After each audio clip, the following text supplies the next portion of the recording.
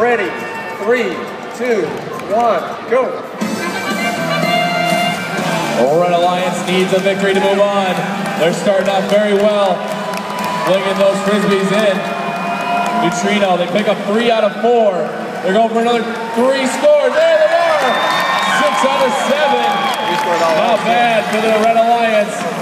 Scoring three into the two-point goal and multiple into that top goal worth six points apiece. 25-74, already reloaded. Team Neutrino moving over to their feeder station. 25-74, Robo Huskies. One, two, three. Bumped and they got, they missed that last shot. Three out of four, another nine points for the Red Alliance. Team Neutrino using the pyramid as protection, lining up their next set of shots. One, two, three, four.